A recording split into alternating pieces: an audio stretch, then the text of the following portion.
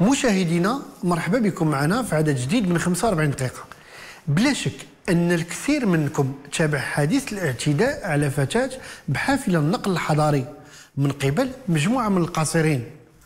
وهو الحدث اللي ثار جدل ونقاش واسع. وبعد هذا ظهرت حوادث أخرى واللي دفعت بالكثير من الناس يتساءلوا كيفاش الوضع أصبح بهذا الشكل؟ وشنو هما الأسباب اللي كتخلي المجتمع يعيش تحول بهذا الشكل واللي كتمثل في الاعتداءات على المواطنين وتخريب الممتلكات الخاصة والعامة. وبحسب أرقام وزارة الداخلية في سنة 2016 مجموع الجرائم اللي تسجلات وصل لأزيد من 700 ألف قضية وتشكلات من قضايا المس بالأشخاص وبالممتلكات. هذا الرقم ديال الجرائم تضاعف بحوالي زوج ديال المرات في ظرف 8 ديال السنوات. بعد ما ما كانتش كتجاوز عدد الجرائم المسجله عند الأمن حوالي 320 ألف قضية.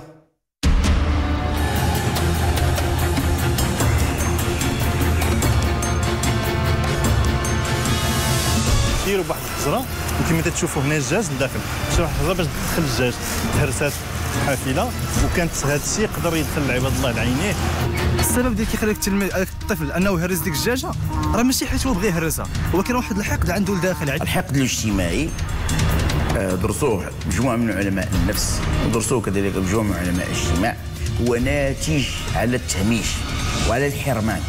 أي حاجة كتوقع في المجتمع خصنا نشوفوا رأسنا حمل الأول.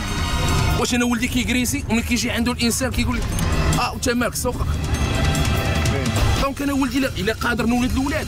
خصني نكون موفر لهم كل شيء ما قادش بهم ما نولدهمش. فالقيم راه هي صلب العمل الإنساني والاجتهاد الإنساني. شنو سبب هذا الوضع؟ واش حقد اجتماعي كيجري تجسيدو في الانتقام من الوضع اللي كيكونوا عليه الأشخاص اللي كيرتكبوا هذه الاعتداءات؟ وشنو المؤشرات ديال هذا التحول؟ وشكون اللي ساهم فيه؟ وشنو هي الأسباب الرئيسية؟ المجتمع في المنعرج. موضوع حلقة اليوم.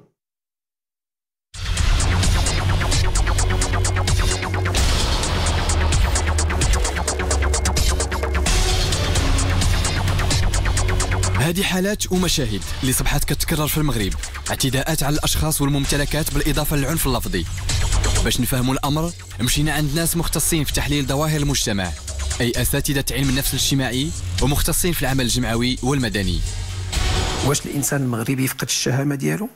واش الفكرة المواطنة مازال ما توضحاتش عند الناس ولا ما بقاتش؟ هذا اللي شفنا ديال الاغتصاب والحالات أخرى اللي بدات كتظهر في المجتمع هي ظواهر فعلا آه، ظواهر شادة في المجتمع المغربي.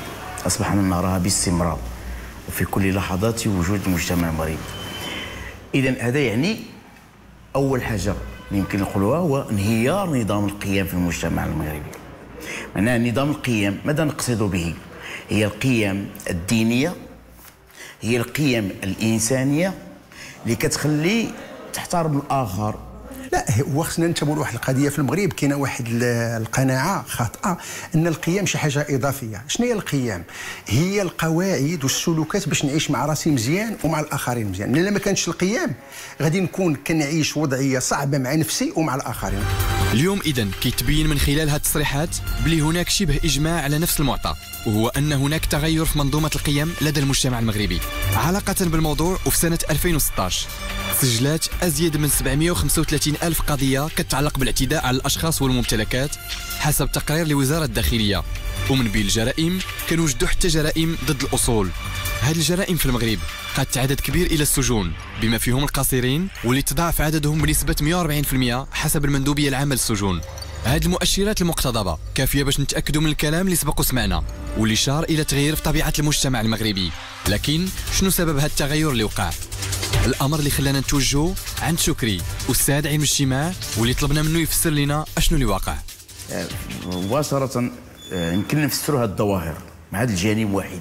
هذا الجانب هو ما يسمى باسباب التهميش والإقصاء داخل المعيشه اليوميه للمغاربة. إذا شيء طبيعي هذا الإقصاء إقصاء في التعليم إقصاء في الصحة تهميش في العمل في إذا كلها كتؤدي إلى القدرة الشرائية للمواطنين كتؤدي إلى واحد تكون واحد الحقد اجتماعي عند هؤلاء المواطنين. معناه أنه انتشار بكونه ليس مواطنا في مستوى المواطنين الآخرين.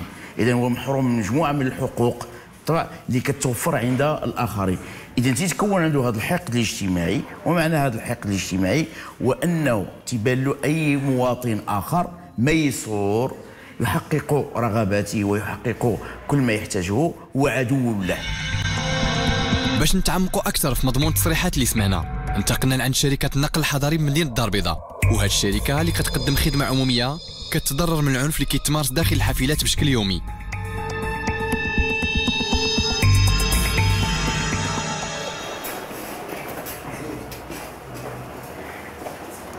حسن السلام عليكم. كي داير الصحه لاباس كيفاش عمل الله؟ كيفاش دخلنا فيه؟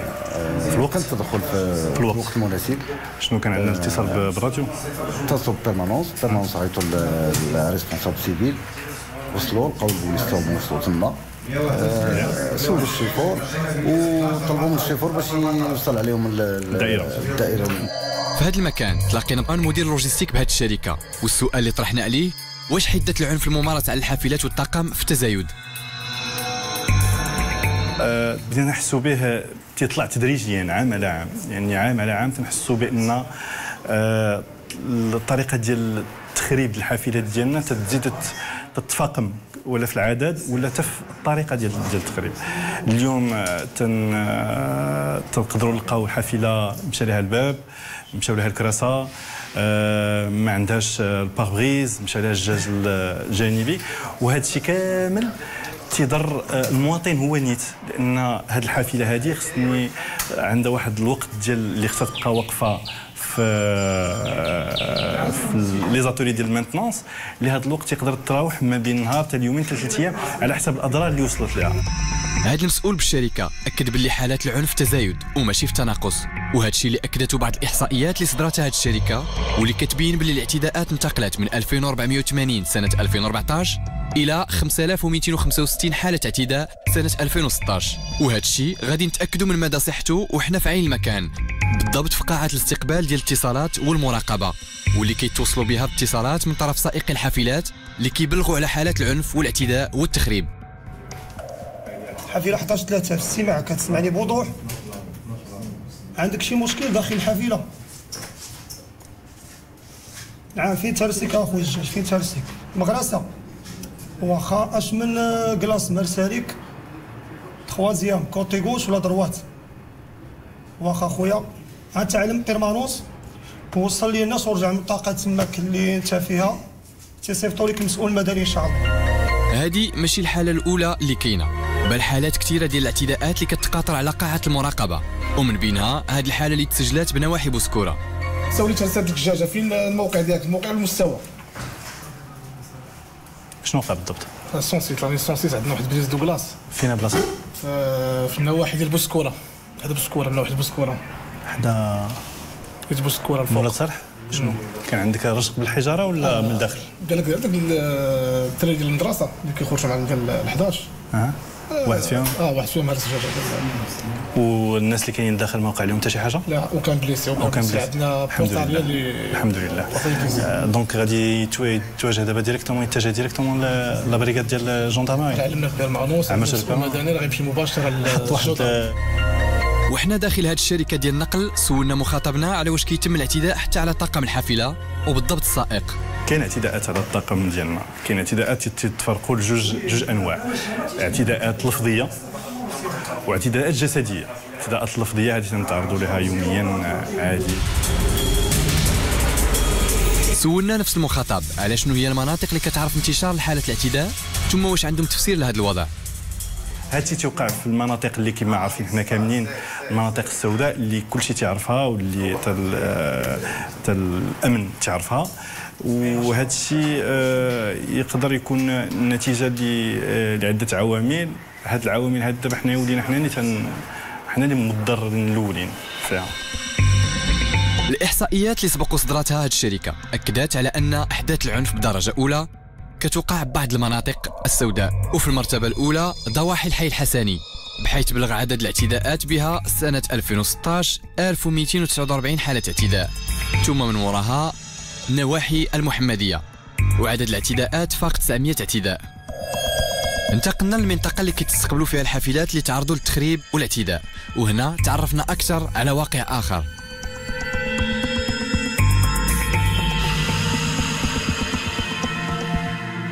الاهانات اللي كنتعرضوا لها يوميا. كاين نفسية ومادية ومعنويه أول حاجة نفسية لأنه مضايقات كتلقى الإنسان كيطلع ما كيحترمكش. الضو الاحمر انت واقف الضو الاحمر كيقول نزل لك تقول له الله يخليك اطلقها كاين هو ديك الساعة كيشنق عليك كيضربك بزاف ديال الحوايج. وملي كيهود كيهز حجرة كيشيرك. كيشير عليك هذا كتهرس لك وشحال ديال آه مثلا. وشحال من شيفور اللي مشات لي عيني شحال من شيفور اللي تضرب بالموت. وحنا كنتكلموا مع هذا السائق انتبهنا باللي الزجاجة الأمامية ديالو مكسرة وهنا سولناه على كيفاش وقع.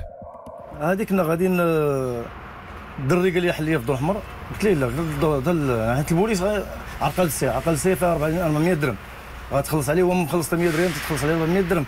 قلت له تسنى خرج ملي هوتو في البلاكاز حجرة هو يشير عليا وجر هذا المريض.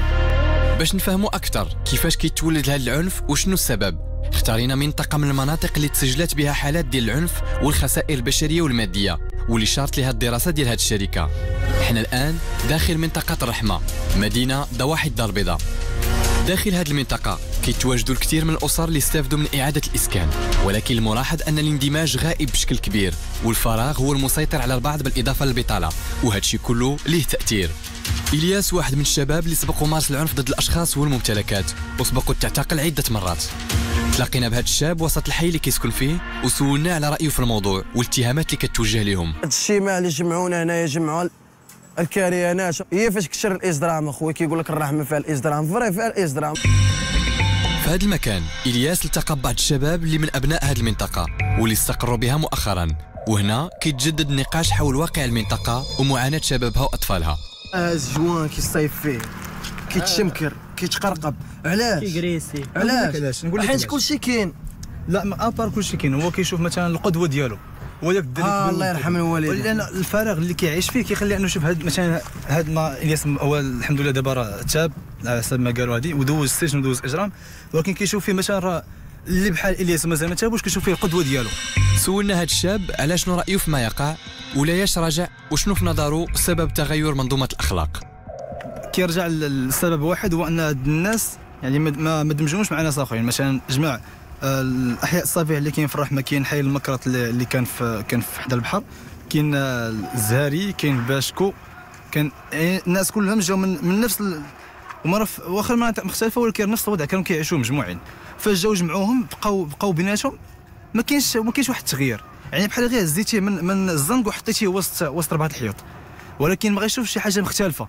غيشوف نفس العقليات اللي كانوا غيشوف نفس الناس اللي كانوا كيعيشوا مع نفس العادات نفس التصرفات. ما كاينش شي واحد اللي غادي يجي غيشوف مثلا كيدير شي حاجة مختلفة. لا سيما كنتكلموا على الدراري الصغار بطبيعه الحال حيت هما هما المستقبل هما الأكثر تأثر بالمحيط ديالهم. السبب ديال كيخليك التلميذ الطفل أنه يهرس ديك الدجاجه راه ماشي حيت هو بغى يهرسها. هو واحد الحقد عنده لداخل. علاش؟ ما كيوصلش عندي داك الطوبيس. علاش داك اللي راكب في الطوبيس أحسن مني أنا؟ خصني نركب في الطوبيس. أنا خصني يجي عندي حقي كما هو راكب أنا خصني نركب. الحقد الاجتماعي درسوه مجموعة من علماء النفس ودرسوه كذلك مجموعة من علماء الاجتماع هو ناتج على التهميش وعلى الحرمان. اذا انك شخص محروم من مجموعة ديال الحقوق والامتيازات في مقابل مواطن يعيش معي في نفس الوضعية. اذا في هذه الحالة كيف أفسر هذه الدائرة؟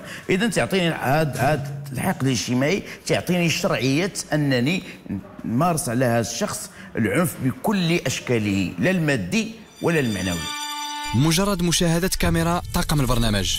الساكنة ديال المنطقة صرات باش تدخل في الموضوع في حين أن البعض كيشوف أن المسؤولية مسؤولية المؤسسات فهاد المواطن اللي كيقطن بهذه المنطقة كيتفق مع هذا الطرح لكن كيشوف باللي هناك طرف آخر مسؤول على هذا الوضع. أي حاجة كتوقع في المجتمع خصنا نشوفوا راسنا حمى الأول الأول. واش أنا ولدي كيكريسي وملي كيجي عنده الإنسان كيقول لك آه وانت مالك سوقك. كاين donc أنا ولدي إلا قادر نولد الأولاد. خصني نكون موفر لهم كل شيء ما قادش بهم ما نولدهمش ما نعذبش راسي ونعذب هذوك الولاد ونعذب المجتمع معاهم. يعني إنسان كتلقى عنده كيشد 3000 درهم والد خمسة. هنا الفرق عاوتاني هنا هو الجهل التفكير واش أنا مزلوط نولد خمسة ستة؟ غادرنا منطقة الرحمة وتوجهنا عند الصحفي والمتخصص في الشؤون المحلية. عبد الرحيم أريري واللي عنده تفسير لهذا الشيء اللي وقع. التجارب الدوليه يعني عندنا جوج تجارب آه، فاضحة وواضحة. التجربة الأولى هي ديال الأمريكان. هما الأولين بداو في بداية القرن العشرين عرفوا ما يسمى ب la ghettoïsation عبر تجميع يعني هذا النظام ديال الكيتوهات لتجميع يعني دوك الساكنة ديال السود في واحد الأحياء خارج المدن. بطبيعه الحال يعني الأفلام الأمريكية حبلى وتضج بالامثله على ما أنتجته هذه الضواحي المقصية بالمدن الأمريكية. للأسف الشديد جات الدول الأوروبية خاصة فرنسا. عوض أن تستفيد من هذه التجربة ديال الولايات المتحدة الأمريكية.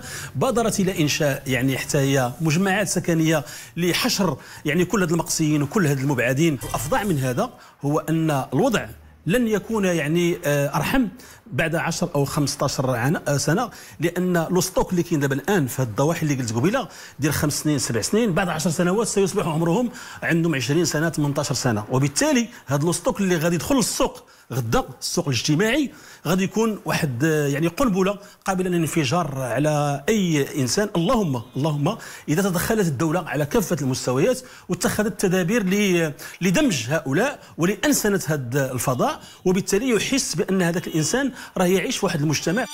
أسباب كثيرة إذا تسببت في إنتاج الحقد الاجتماعي واللي ينتج عنف وحدة خلل في منظومة القيم. وفي انتظار تحمل المسؤولية من طرف عدة جهات ومؤسسات فالوضع الحالي كيدق ناقوس الخطر. هذا الشيء اللي تابعنا. كيبين باللي المجتمع المغربي عرف تراجع في منظومة القيم. ولهذا أصبح المجتمع كيعيش كل هذا الاحتقان. فشنو الأسباب اللي ساهمت باش يكون الوضع بهذا الشكل؟ وشنو هو الدور ديال الأسرة والمدرسة؟ باعتبارهم المسؤولين على التربية والتعليم. لنتابع. هاد الشخص اللي صرح لنا بلي سبق لي يدخل السجن ثلاثة ديال المرات في سن صغيرة كينتمي لفئه الشباب واللي كيتقدر عددهم بأكثر من 6 مليون نسمة واللي كتراوح أعمارهم ما بين 15 و 25 سنة. وهذه الفئة هي المتهم الأول حاليا. بعدنا ديك الساعة كنا صغار بنادم كيبغي يستغل يستغل العقلية ديالك انت ما حدك باقي صغير. شنو شي يقول بنادم؟ سنة ضرب 12 عام 13 عام هذا هو خصو يضرب الحبس. باش نتعمقوا أكثر في دور الأسرة في تربية الأطفال أو بالأحرى دور الأسرة داخل المجتمع المغربي توجهنا عند أستاذ في علم النفس الاجتماعي واللي هو الدكتور محسن بن زكور باش يفسر لنا كيف أصبح دور الأسرة اليوم وسط المجتمع المغربي. كتسول الآباء الأمهات شنو هو وظيفتهم؟ كيقول لك حنا كنجريو على وليداتنا كنجيبوا الفلوس لوليداتنا كنعيشوا في مستوى عالي. لكن ملي كتهضروا مع الوقت شنو كيخصوا الوليدات؟ واش كيتحدثوا معاهم؟ واش كيعطيوهم واحد النوع من الإشباع العاطفي؟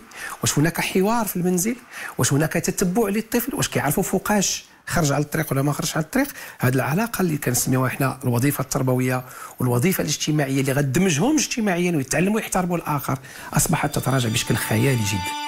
زدنا وسولنا مخاطبنا على شنو هما الأسباب اللي كتدفع بالقصيرين لدخول عالم الإجرام. هناك مجموعة من الدراسات النفسية الاجتماعية اللي كتقول كلما قلت لولدك نعم على كل شيء كلما ربيتيه على أن يصبح مجرما. علاش؟ لأن الطفل كنقول له لا شنو كنبني فيه؟ كنبني فيه الحدود. كنبني فيه المجهود.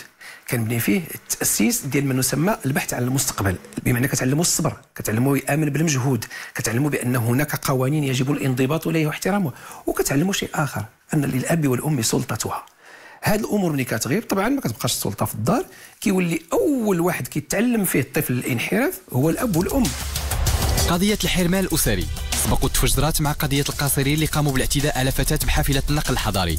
لهذا توجهنا للحي ديال هاد القاصرين. وهنا تلاقينا بهذا الشخص اللي هو من ساكنة حي البرنوسي وفاعل جمعوي واللي غادي يعطي رأيه في الموضوع. الإجرام في البرنوسي كيبان لنا أنه في في تزايد آه، بواحد الوتيرة اللي آه، مهولة اللي كتخلع صراحة آه، ككل الأحياء في الدار البيضاء.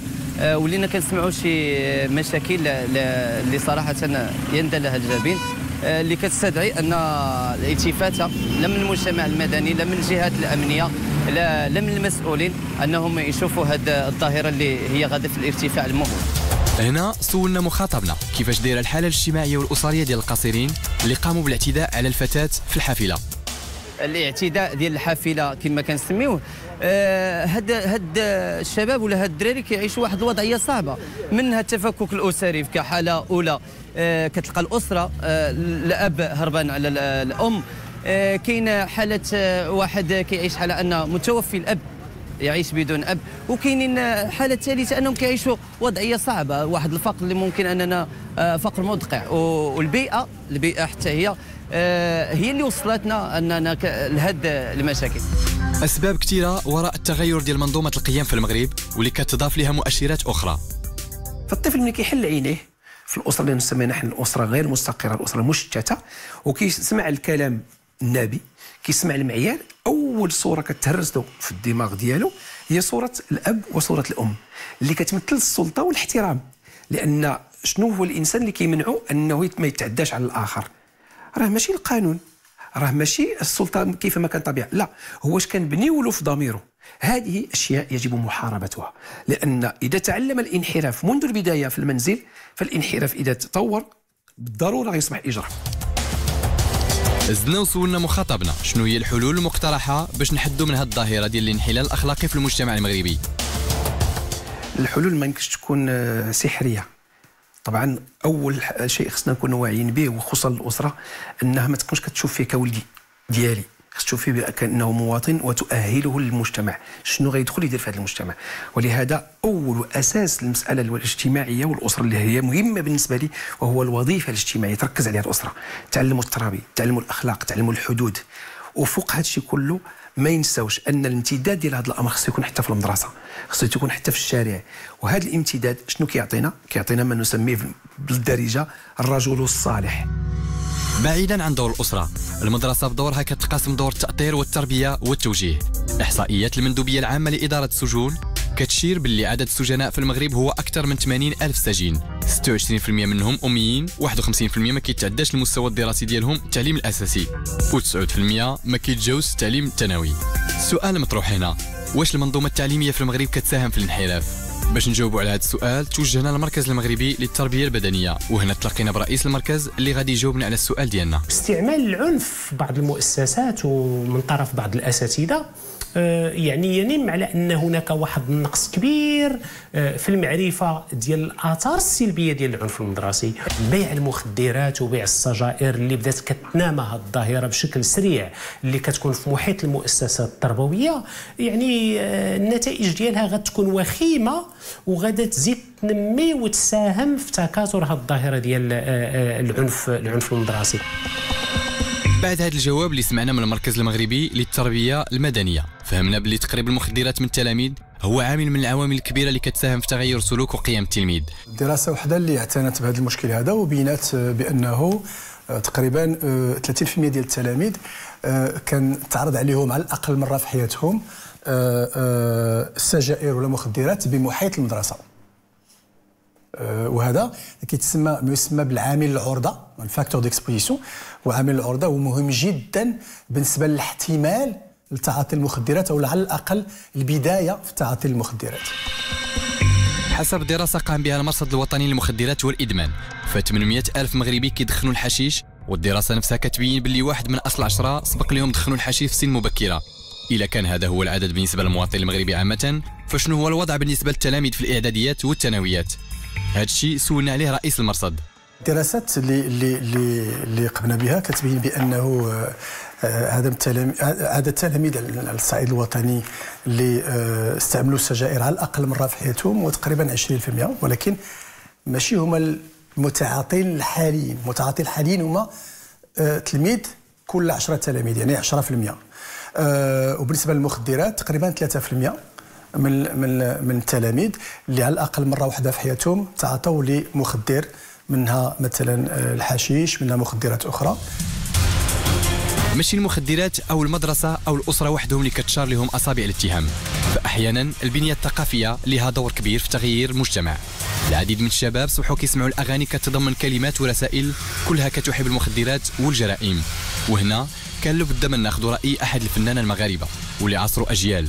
هنا كان لنا لقاء بالفنان المغربي الحاج يونس. اللي كي اللي كيوظفوا كلمات يعني آه يعني عيب وقحه كلمة وقحه وعن مثل ديكي نقدر نقول لك أنا بعض الاغاني كنسمعهم كأنهم يشجعون على آه يعني الاستعمال الفنيد ولا كيقولوا القرقوبي وهناك من قال في استجوابته أنا لا أعتبره هذا فنان هذا كنعتبر هذا كومبليس. مع هذيك الجماعه اللي هي تخيف. هذيك الجماعه اللي هي كت اللي هي كنقول بالعربية كتكريسي اذا ماشي فنان الفنان هو هو الفنان اللي كيعطي رسالة نبيلة رسالة تربية رسالة خلقية. الأسرة والمدرسة والفن. المؤسسات اللي صبحات متهمة اليوم بالمساهمة في إنتاج أجيال كتفتقد القيم والمبادئ والأخلاق بشكل عام. في هذا الجزء غادي نحاولوا نعرفوا واش هذا الاحتقان كيكون أيضا بسبب غياب التأطير اللي هو من اختصاص الأحزاب السياسية واللي عددها كيزيد على 30 حزب والجمعيات اللي كيفوق عددها 130 ألف جمعية في المغرب واللي كيتمنح لهم دعم مالي من المالية العمومية. ومن بين الأمور اللي كيتمنح عليها الدعم هو تأطير المجتمع. دين نتابع إحنا الآن كنتواجدوا بحي ليساسفا بالدار البيضاء واللي كتواجد به العشرات من الجمعيات من أصل أزيد من 130 ألف جمعية في المغرب. فهمت يعني ما كاينش شي جمعيات شي كتجي تقريبا شي جمعية جات عندنا ولا دارت شي حاجة؟ لا ما كاينش. حتى الا داروا شي حاجة شي حزب. سياسي. تيبانوا في الانتخابات اللي شي حاجة. حتى الحملات الانتخابية كيعطوها لك كيعرفوه كيجمعوه يعني ما كاينش شي حاجة. حتى على الأرض الواقع ما كاينش حاجة كتطبق شي جمعيه كتطبق شي حاجة. دابا حنا في هذه اللحظة دابا حنا باركين بغينا غير نلعبوا ماتش ديال الكره وطلبنا هاد الناس اللي مكلفين بال terrain ديال ليساسفة بعد هذا النقاش ديال هاد الشباب اللي كيسكنوا في هذا الحي طرحنا عليهم سؤال مباشر شنو كتمثل الجمعيات بالنسبة لهم؟ حنايا كشباب هنا في في ليساسفة إذا مشينا لدار الشباب أول حاجة كاين المقر اللي كيكونوا في الجمعيات ديال المنطقة. ما غنلقاو بزاف الجمعيات غنلقاو 30 40 50 جمعية. ولكن الجمعيات كتختصروا آه، في دار الشباب في المنطقة. ولا في شي حاجة يعني كما نقولوا يدفعوا المبادرة يستافدوا هما يديروا شي حوايج. المهم حنا ما غندخلوش في داكشي ديالهم. ولكن حنا كشباب ما عمر شي جمعية جات عندنا أطرتنا. ولا دفعتنا نديروا شي حاجة. يعني الجمعيات منعزلين علينا آه، يعني ما نقولش صفه نهائيه ولكن شبه نهائيه يعني انت ما كاين. لا احزاب لا والو. الأحزاب ما حوا- حنا والو. من غير وقيتة الانتخابات. صافي. هادشي اللي كاين توقعات الانتخابات ما كنشوفوا منهم. هاد الشباب المنشغلين بالنقاش حول الجمعيات والأحزاب ومدى نشاطهم في المنطقة سولنا واحد منهم على واش كتقوم بعض الجمعيات بمحاوله إدماجهم داخلها. الدور ديال الجمعيات عندنا حنا ما كاينش شي دور المهم آه، من الناحيه ديال أنه يدمج الشباب ويقوم. ما كاينش جمعيات اللي كيأطروا ولا كي, كي يعني يقدروا يجيو عندك يهضروا معاك وكاش كاين وكاين الآداب. يعني ومن هاد هاد الاسباب اللي كتخلي الانحراف ديال الشباب في المنطقة. وحنا ما كنشوفش غير الشباب راه كنشوفوا هنا أطفال اللي تقريبا تلقاهم ما بين 12 عام 14 عام مبليين. يعني والسبب كرجع كما نقول المسؤول الأول كما ال- الجمعيات. وبعد لقائنا ببعض الشباب من المنطقة وكذلك بعض الجمعيات. جمعنا الطرفين بزوج باش نعرفوا وجهة نظر كل طرف حول هذا الموضوع اللي تار حول نقاش. تنتحملوا بجوجنا المسؤولية. تنتحملوا اولا حنا المسؤوليه وتتعاتبونا أننا ما نزلناش. وخصكم تحملوا حتى أنتم كذلك المسؤولية واش بحثتوا على الجمعيات داخل الفضاءات اللي هي كاينة. ولكن كاينين شي شي حوايج خصكم نتوما اللي تجوا عندنا. حنا ما حيت راه بزاف دابا راه شكون اللي عارفك بلي انت أصلا عندك جمعية ولا كنت شي جمعية؟ كاين فضاء كاين فضاء اللي تيضمنا كاملين. فضاءات سواء الملاعب ديال القرب سواء دار الشباب المركبات اللي كاينة داخل الخزانة ديال ديال المنطقة. نقولوا واحد المثل المعروف هو غاية آه، آه، يعني إرضاء الناس غاية لا تدرك. راه ما يمكنش غتكون تدير الإرضاء ديال 100% ديال الشباب في المنطقة. بالتالي تقدر تشتغل مع واحد العينة معينة اللي تتنخرط معك داخل داخل الجمعيه هي اللي قلبت أنها تنخرط تقدر تشتغل معها سواء آه، يعني في إطار ديال التكوين الدورة التكوينية أو يعني اللقاءات أو المحاضرات. وهذا هذا هو العمل يعني صلب العمل داخل داخل الجمعية. من خلال الملتقيات على المستوى المحلي أو الوطني. آه، يعني تنقول أنه آه، غنقدروا نشتغلوا مع هذه الفئة اللي تتقلب تت يعني تتواصل معنا. ما غيمكنش اننا نخرجوا حيت عندنا عندنا اكراهات. الاكراه الأول هو انه اكراه مادي. ما غيمكنش آه، تخرج يعني باش باش تواصل داخل داخل الاحياء. أنا تنقولها وتنتحمل المسؤولية فيها. يستحيل انك تواصل 100% مع مع شباب المنطقة والا الا كنتي غتقدر انك تحقق هذه المسألة غنسميوك جمعية سوبر سوبر جمعية.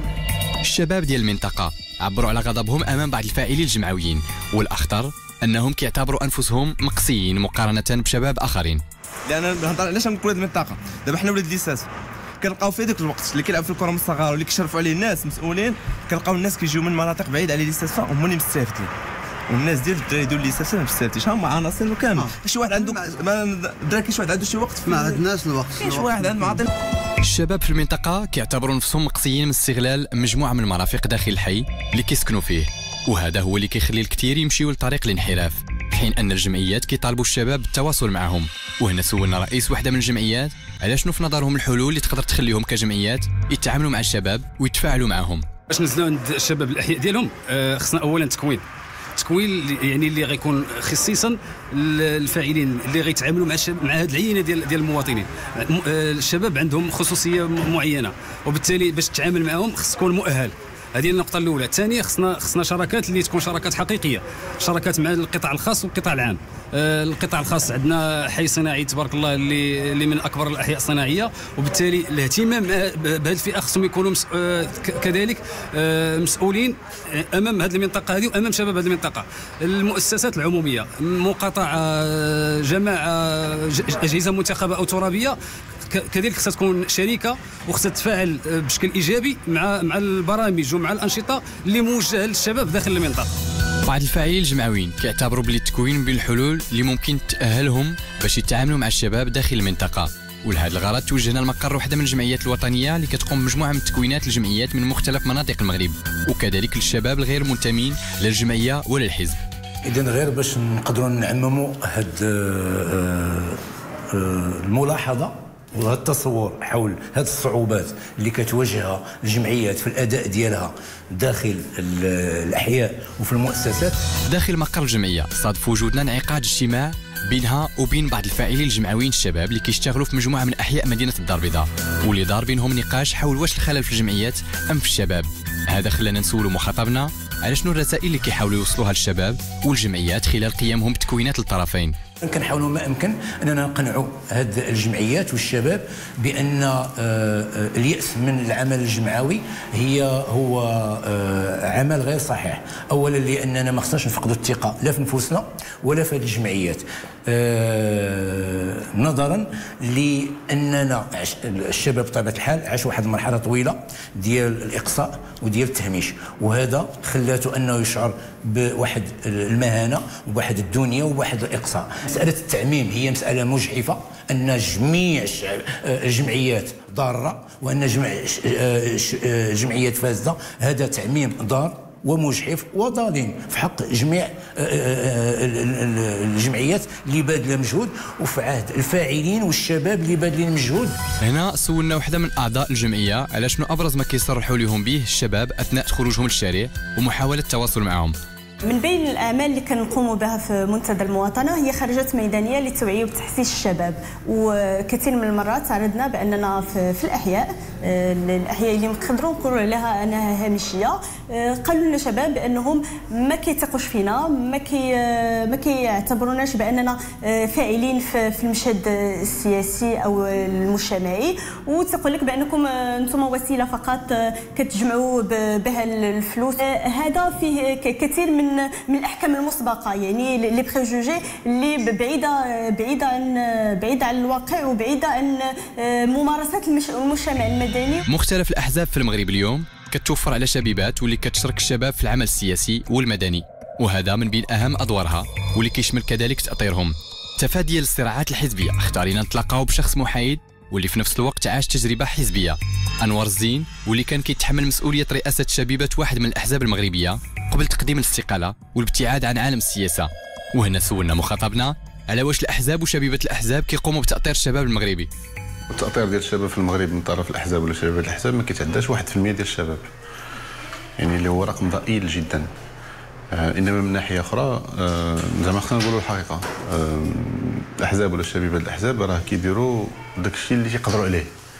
لأنه من ناحية ديال الانخراط ديال الشباب. في هذه المؤسسات.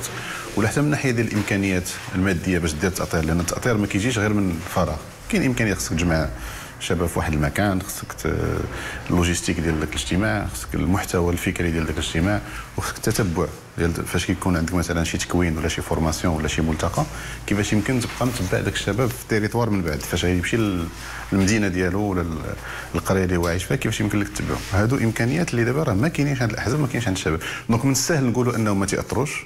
ولكن من ناحية أخرى خصنا نطلوا من الداخل باش نعرفوا علاش ما كيأثروش. مخاطبنا صرح أن عدد الشباب اللي كتقوم الأحزاب والشبيبات ديال الأحزاب بتاطيرهم اليوم قليل وما كيتجاوز 1% وهذا حسب تصريحه راجع لامكانياتها وهذا خلانا نسولوا مخاطبنا اللي كيشتغل الآن في مجال التواصل على كيفاش الأحزاب وشبيبات الأحزاب ممكن توجه الشباب للطريق الصحيح وترقى بهم بدل الانحراف والتوجه الجريمة اللي كيتوجهوا لها الشباب اليوم. الحرب اللي كاينة هي حرب على مستوى المحتوى le contenu شنو كيدور في اليوتيوب شنو كيدور في شبكات التواصل الاجتماعي إلى آخره. والمحتوى البائس اللي كي كيرد la starisation يعني كي كيرد مشهور واحد السيد اللي كيدير واحد الفعل إجرامي ولا واحد الممارسة غير أخلاقية أكثر من المحتوى آه، طيب. ربما من الطرق اللي خصها تدار في التواصل مع الشباب هو أن الإنتاج يعني لي فيديو والحياة والمسار ديال الناس اللي هما نجحوا في الحياة ديالهم واللي يمكن يكون لهم يكون لهم إنهم يكونوا عفوا. مثل ان اكزومبل هنا كاين دور ديال الشبيبات وديال الأحزاب وديال جمعيات المجتمع المدني بصفة عامة وديال النقابات على أنها تعاود هاد هاد القصص الجميلة وتصورها وتسوقها بما فيه الكفاية باش واحد آخر اللي يمكن غيتلاقى معاها تحرك فيه شي حاجة لداخل ديالو باش يولي تا هو بطل أولمبي أو رياضي أو فنان أو باحث أو مخترع أو منتج لشيء ما داخل المجتمع. إضافة إلى الجمعيات والأحزاب كنلقاو دور الشباب اللي كتمكنهم من ممارسة مجموعة من الهوايات والأمور الإيجابية. وهي اللي ساهمت في إخراج نجوم ومثقفين ومشاهير كثر خلال سنوات مضت. لكن واش مازال كتقوم اليوم بهذا الدور؟ ومازال عندها نفس التأثير. واش الشباب مازال كيقبل عليها كما السابق. كان بكري كاينة العائلة. كاين الاب والام اللي ملي كيجي داك الدري من المدرسة وكياكل وكيشرب كحت الشكارة ديالو كيقول لي باه سير لدار الشباب كتقول له مو سير لدار الشباب المعلم والأستاذ تا هو تيقول ليه سير لدار الشباب حيت دار الشباب كان كيمشي يخرج في التمارين ديالو. الجيل ديالي أنا أو الجيل اللي قبل مني حنا عانينا علاش عانينا لأنه كان واحد الإقبال كبير على دار الشباب وكاين الإمكانيات قليلة جدا. دابا الأستاذ دابا تيقول دابا الآن على أنه ولات الإمكانيات. ما بقاش عندنا ندرقوا نقولوا ما كاينش الفلوس ما كاينش كذا لا كاين الفلوس. الموضوع أثار نقاشات كثيره في كل مكان كنا كنتقلوا ليه. والجميع كيشوف أن الوضع اليوم تغير الأسوأ. حتى داخل هذا المكان اللي هو دار الشباب مولاي رشيد بالدار البيضاء وفي هذا الاجتماع اللي حضر فيه المدير الإقليمي لوزارة الشباب والرياضة بن مسيكو مولاي رشيد بالدار البيضاء وكذلك مديرة دار الشباب ومجموعه من الجمعيات والشباب والأطفال. هنا سولنا المدير الإقليمي للوزارة. على فين كيكمل الخلل اليوم؟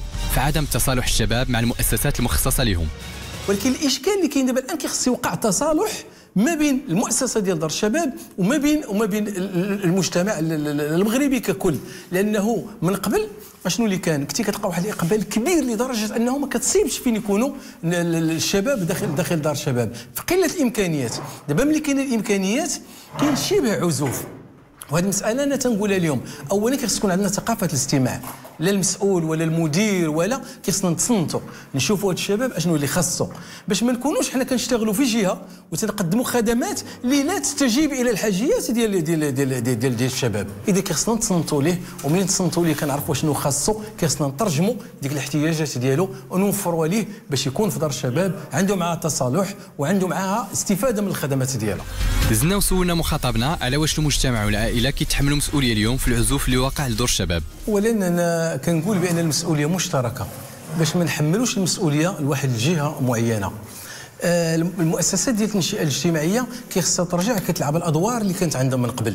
تكون متكاملة في بيناتها. أنا قلت من قبل على أن كان المعلم وكان الأستاذ كيقول الدري راه لقاك في الصدقه دبر راسك كيخصني نلقاك في داركم ولا نلقاك في دار الشباب؟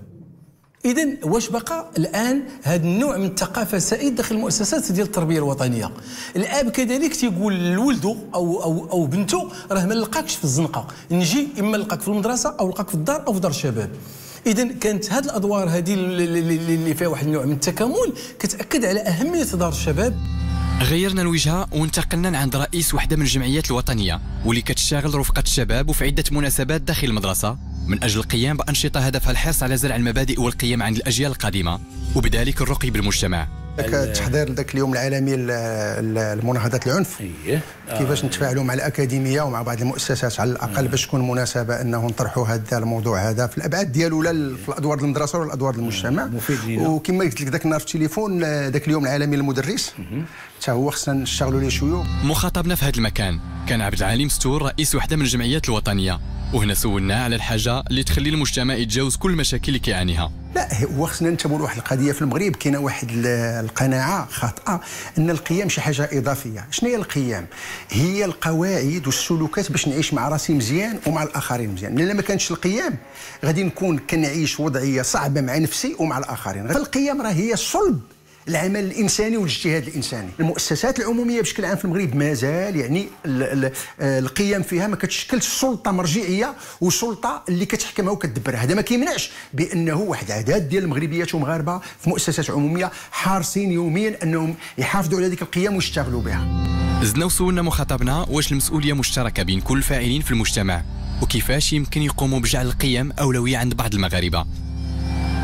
المؤسسات ديال التاطير ضعيفة. اذا اولا خصنا نقويو آه، القيم كقاعدة أساسية آه، في الإدارة العمومية والمرفق العمومي والسياسة العمومية والسلطة العمومية. خص جميع المؤسسات العمومية تنتبه بانه راه هي النموذج اللي قدام المواطن وأن المواطن أساسا غيدير داك الشيء اللي كدير ديك المؤسسات. خصنا نقويو مؤسسات التنشئة الاجتماعية لأنه جل المؤسسات الاجتماعية في المغرب القيم ماشي هو الانشغال ديالها الأساسي. الإعلام العمومي بشكل عام المدرسة الجامعة يعني هذه مسألة أساسية. المؤسسات ديال المجتمع المدني خصها تلعب الدور ديالها. الجمعيات الأحزاب النقابات هي مسؤولة على هذه المسألة. المثقفين والمبدعين خصهم يلعبوا هذا الدور ديالهم هذا. إذا فاليوم الجمعيات والأحزاب وكذلك الأسرة والمحيط كلها أطراف كتجعلنا نشوفوا مجموعة من الظواهر السلبية اللي كنشاهدوها اليوم. ودور الجمعيات والأحزاب كفاعلين مدنيين وسياسيين كيكمن في تأطير الشباب وتوجيههم لكل ما هو إيجابي من أجل تفادي كل ما هو سلبي وتكوين شباب واعي. الموضوع ديالنا اليوم وهو موضوع تحسيسي توعوي من أجل تخليق الحياة العامة. الحياة العامة ما معنى كلمة عامة؟